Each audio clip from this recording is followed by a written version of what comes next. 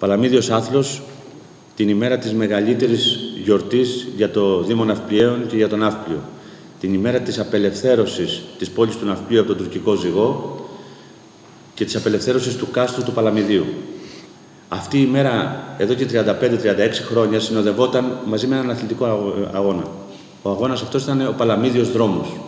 Η Οργανωτική Επιτροπή του Μαραθωνίου του Ναυπλίου αποφάσισε πρόπερση να υιοθετήσει τον Παλαμίδιο αγώνα που βρισκόταν εν ζωή 35 χρόνια και οφείλω να ευχαριστήσω όλους αυτούς που τον κράτησαν τόσα χρόνια ενεργό και να τον μετατρέψει στον Παλαμίδιο άθλο. Έναν αγώνα ο οποίος δεν έχει κάτι παρόμοιο αυτή τη στιγμή παγκοσμίως και έχει να κάνει με την ανάβαση ενός κάστρου εμβληματικού όσο το Παλαμίδι, ένα κάστρο σύμβολο όχι μόνο για την πόλη μας, αλλά για τη χώρα μας και φυσικά αυτό να έρχεται αθλητικά και με μια επιστροφή από ένα δρόμο 4,5 χιλιόμετρων, 4.200 μέτρων. Αυτός είναι ο Παλαμίδιος άνθρωπος που ξεκίνησε πέρσι. Ξεκίνησε πέρσι με πολύ όρεξη και είχε την ανταπόκριση που πραγματικά περιμέναμε. Ο δεύτερος Παλαμίδιος Άθλος είναι ένας θεσμός ο οποίος, όπως είπε ο κ. μας, ξεκίνησε ως Παλαμίδιος δρόμος και τώρα έχει αναβαθμιστεί με τον όρο Παλαμίδιος Άθλος.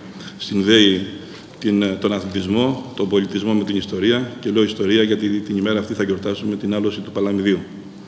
Το Ναύπλιο είναι ένας αθλητικός προορισμός, πιστεύω, με πολύ μεγάλο ενδιαφέρον ίσως είναι ο πρώτος αθλητικός προορισμός στην Ελλάδα και αυτό αποδεικνύεται από τα αθλητικά γεγονότα που λαμβάνουν χώρα στον Άφλιο, όπως είναι ο αγώνας που θα γίνει τον το Νοέμβριο Παλαμίδιος Άθλος, ο Μαραθώνιος, ο δρόμος, ο οποίος είναι ένας από τους μεγαλύτερους μαραθωνίους που γίνονται στην Ελλάδα, το τριάθλον, το πρωτάθλημα παμπέδων παγκορασίδων και άλλα πολλά αθλητικά γεγονότα που λαμβάνουν χώρα στην Αργολίδα. Ο αθλητικός τουρισμός, θέλω να πω ότι είναι ε, αφήνει πάρα πολλά ανταποδοτικά ωφέλη στην ε, περιοχή μας ε, και γι' αυτό τον στηρίζουμε. Έχουμε ξεφύγει από το μαζικό τουρισμό ήλιο και θάλασσα, όχι ότι δεν μας αρέσει, μας αρέσει, αλλά θέλουμε πολλές εναλλακτικές μορφές τουρισμού. Με ενθουσιασμό χαιρετίζω και τη φετινή οργάνωση του Παλαμιδίου Άθλου 2016, Ναύπλιο Castle Run, που πραγματοποιείται σε μία από τις πιο όμορφες πόλεις και συνάμα ιστορικές στη χώρα μας, στο Ναύπλιο. Ο Παλαμίδιος Άθλος αποκτά τη δική του ξεχωριστή θέση μέσα στις υπόλοιπες οργανώσεις της πόλης. Και αυτό γιατί του αναγνωρίζεται η συμβολή του τόσο στην ανάδειξη της ιστορικότητας, όσο και την προβολή του ναυπλίου ως αθλητικού και τουριστικού προορισμού. Η πρώτη πετυχημένη διοργάνωση απέδειξε αυτό που είχαν διακηρύξει μαζί ο Παγκόσμιος Οργανισμός Τουρισμού και η Διεθνή Ολυμπιακή Επιτροπή το 2004, ο τουρισμός και ο αθλητισμός οραματίζονται κοινούς στόχους. Ο αθλητισμός περιλαμβάνει ταξίδια και ο τουρισμός μεγάλα αθλητικά γεγονότα ως τουριστικά εκθέματα. Η αγωνιστική ανάβαση του κάστρου του Παλαμιδίου γίνεται παράλληλα με τις εκδηλώσεις για την απελευθέρωση της πόλης του Ναυπλίου κάθε τελευταία Κυριακή του Νοέμβρη, φέτος στις 27 Εντεκάτου. Την ίδια στιγμή, όλοι οι συμμετέχοντες έχουν την ευκαιρία να ζήσουν μια ξέχαστη δρομική εμπειρία με φόντο μοναδικό Παλαμίδι, ένα από τα σημαντικότερα φρούρια βενετσιάνικης αρχιτεκτονικής στην Ελλάδα, την επιβλητική χερσόνησο της ακτοναυπλίας, αλλά και το μαγευτικό Μπούρτζι, το επιθαλάσσιο φρούριο που αποτελεί σήμα κατά τεθέν του ναυπλίου. Δρομικοί αγώνες, λοιπόν, όπως το ναύπλιο Καστράν και ο μαραθώνιος ναυπλίου, που έγινε τον περασμένο Μάρτιο, εστιάζουν στην προβολή στο εξωτερικό της πόλης, της Αργολίδας ευρύτερα και τελικά της Ελλάδας, με σημαντικά ωφέλη για το τουριστικό μας προϊόν. Ο Ελληνικός Οργανισμός Τουρισμού και το Αρμόδιο Υπουργείο έχουμε ασπαστεί τη συνεισφορά τους και τη στηρίζουμε ένθερμα και έμπραχτα. Είμαστε ανοιχτοί σε κάθε πρωτοβουλία που αναδεικνύει όλο τον κόσμο τα είδη του τουρισμού που μπορεί κανείς να απολαύσει στη χώρα μας, όπως ο αθλητικός τουρισμός. Κλείνοντας, θέλω να συγχαρώ όλους τους συντελεστές που με την προσπάθειά τους μπορούν να καταστήσουν το Παλαμίδιο Άθλο θεσμός στα αθλητικά γεγονότα, αλλά και έναν ακόμη τρόπο προώθησης της ομορφιάς και της ποιότητας του ναυπλίου. Τον ε, Δήμαρχο δεν τον ε, γνώρισα σήμερα το πρωί, τον είδα για πρώτη φορά και δεν έχω να κερδίσω και κάτι από αυτόν. Ούτε με νοιάζει τι ομάδα είναι, αφού είναι άνθρωπος ε, του αθλητισμού, ούτε με νοιάζει τι κόμμα εκπροσωπεί. Εμένα όμως με ενδιαφέρει ότι ένας άνθρωπος του αθλητισμού είναι στο νότο το αξίωμα της πόλης του Ναυπλίου. Και αυτό εμένα σαν άνθρωπο του αθλητισμού και μετά σαν δημοσιογράφο ε, με γεμίζει με ικανοποίηση και θεωρώ την πόλη αυτή πολύ τυχερή. Αυτό είναι το πρώτο που θα ήθελα να επισημάνω για αυτή την πόλη και για αυτόν τον αγώνα. Το δεύτερο είναι ότι η Ελλάδα σαν χώρα δύο πράγματα μπορεί να εξαγάγει με επιτυχία.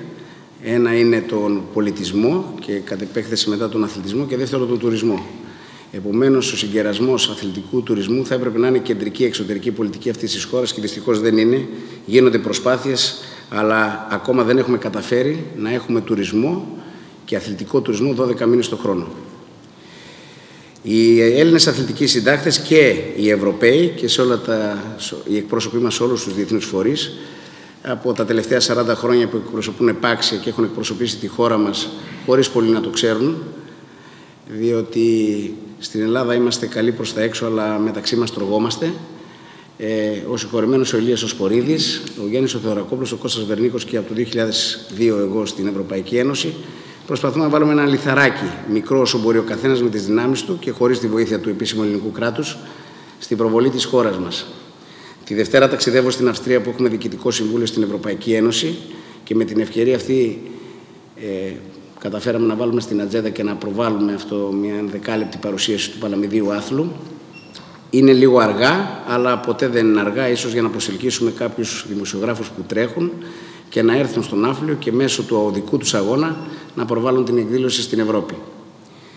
Αυτό, αν γίνει πιο οργανωμένα του χρόνου, να είμαστε καλά, θα μπορέσουμε να έχουμε τουλάχιστον 10-15 σπουδαία ευρωπαϊκά μέσα να προβάλλουν τον αγώνα και να φέρουν στις πατρίδες τους το ναύπλιο. Ιδιαίτερα στην Αυστρία, που σαν είναι μια ιδιαίτερη χώρα για την Ελλάδα, δεν ξέρω αν το γνωρίζετε, η Ελλάδα αποτελεί για τους Αυστριακούς τον πρώτο τουριστικό προορισμό τα τελευταία 17 χρόνια.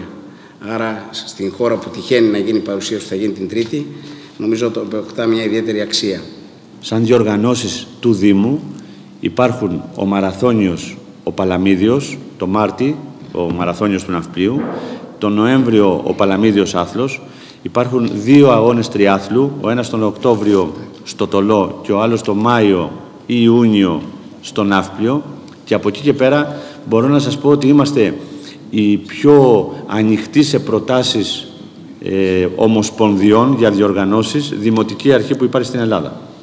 Κάθε χρόνο διοργανώνουμε πάρα, πολλές, ε, πάρα πολλούς αγώνες, ε, ακόμα και στίβου. Οφείλω εδώ να αναφέρω ότι με το ΣΕΓΑΣ έχουμε εξαιρετική συνεργασία. Ε, από τον πρόεδρο, ο οποίος την χάνει να περνάει και ένα μεγάλο κομμάτι του χρόνου εδώ στην περιοχή μας. Ε, φυσικά είχαμε τον κύριο, τον κύριο Μπόλα, που είναι δικός μας άνθρωπος και πάντα μπροστά. Ε, με το Στίβο, όπως καταλαβαίνετε, έχουμε πάρα πολύ καλή σχέση, αλλά και με όλες τις ομοσπονδίες. Διοργανώνουμε πάρα πολλούς αθλητικούς αγώνες.